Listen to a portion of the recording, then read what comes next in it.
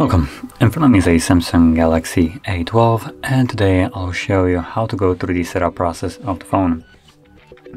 So when you boot it up for the first time you'll be presented with the welcoming screen right over here. So let's tap on the arrow right over here and then select our desired language. Now I'm gonna go with English obviously. So actually let's go up. Go English.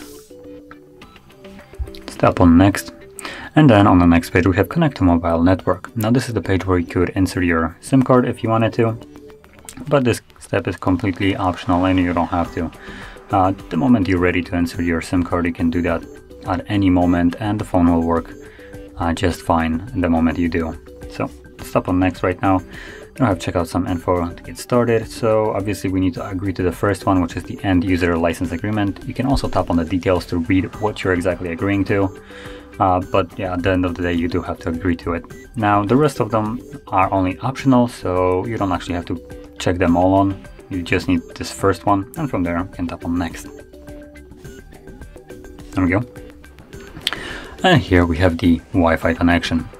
So, and here you can simply choose your Wi-Fi if you have one near you uh, that you can connect to. If you don't, then uh, don't worry, you can simply skip it, at least right now.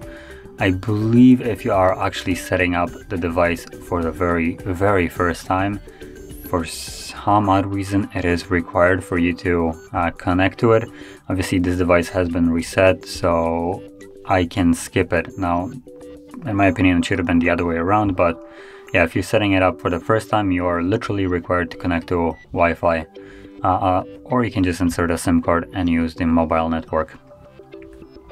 Now, for this one, I'm gonna skip and by skipping, I do miss out the option to have my date and time be set automatically and also the ability to log into Google account along with restoring my uh, device from a backup.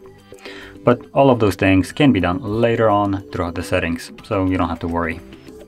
So we have copy apps and data, so it looks like I could still do it even though I'm not connected to Wi-Fi for some reason. So I'm just gonna select don't copy at the moment. I do want to set it up as a new device and then we have the date and time, which is actually set correctly. Okay, so I don't have to do anything. But if you wanted to, you could just simply tap on those as an example time and choose the correct time by just tapping on the wheel right here. So let's tap on next. Now we have Google services.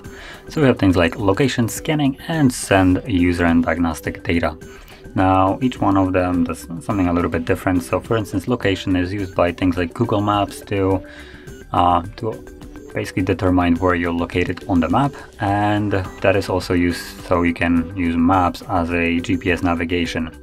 Now it's also being used by some trash apps, uh, for instance the Xiaomi smart home appliances, which for some reason a thermometer uh, that you connect via Bluetooth needs your location because why wouldn't it? Uh, every thermometer needs your location, right?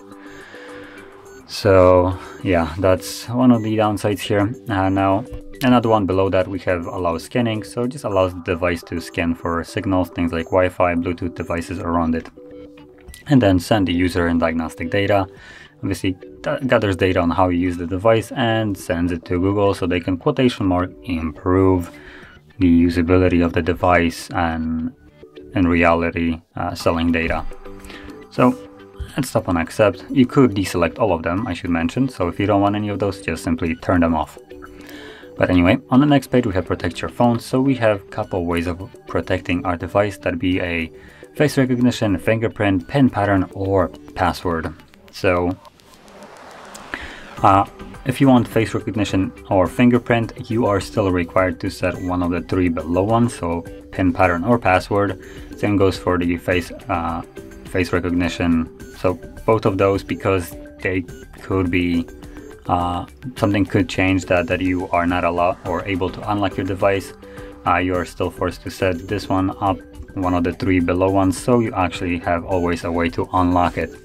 Because as an example, uh, with the face recognition, if you get beat up, well, your phone might not recognize your face. Uh, same with fingerprint, you might just simply cut your thumb or something like that uh, on uh, while doing some stuff and you have no more access to your device.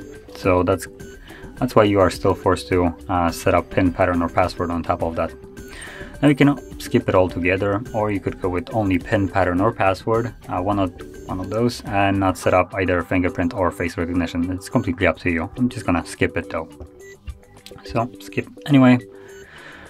And from here we have um, get recommended apps. So if you don't want any of those, because let's be honest, a majority of them have a uh, Google alternative, which already comes installed on here. So things like uh, Samsung Notes, we already have just simple notes. Uh, Samsung members, I don't even know what that is, uh, so don't really interest me. Samsung Internet Browser, uh, we have Chrome, so obviously not needed. And voice recorder, I actually have no idea if there's a voice recorder, so I'm gonna keep it. So let's stop on next. And here we have uh, option to sign into a Samsung account. And this is where the Samsung starts to throw their trash at you, uh, continuing this trend. So uh, you could sign in and get access to their uh, premium applications that are only accessible on Samsung, but let's be honest, all of them are basically a copy of something that Google already made. And let's just to put that to the test, well, this list is really short. Uh, this is embarrassingly short. So unlike the Galaxy uh, S lineup, uh, there is way more things that you get here, uh, but apparently they didn't even bother with this one. So just simply going over all of those. Galaxy Store has an alternative that comes pre-installed with the uh, any kind of Android device, which is uh, Google Store or Play Store. Uh, so this is just complete garbage right here. Uh, Find My Mobile, yeah, Google comes with Find My Device. It has come with it for decade now. Uh, then we have uh, Galaxy Themes. Uh, yeah, have you heard of the Play Store in its entirety? Uh, that's a great substitute for this. Um, and then we have Samsung Cloud. Google Drive doesn't exist apparently in Samsung's eyes. So yeah, uh, all of those are simply substituted with just Google. And let's be honest, uh, in my opinion, Google has way more versatility. Now, there is maybe an argument to the security. Uh, I do not know about the security of either of those. Um, obviously, Google gets hacked sometimes, but I assume Samsung will as well. So anyway, I'm just gonna skip this because I'm not interested in trash. And from there, it's all done. So let's click on finish and we should have access to our home screen. Any moment. There we go. So that is how you would set up your device and if you found this video helpful, don't forget to hit like, subscribe and thanks for watching.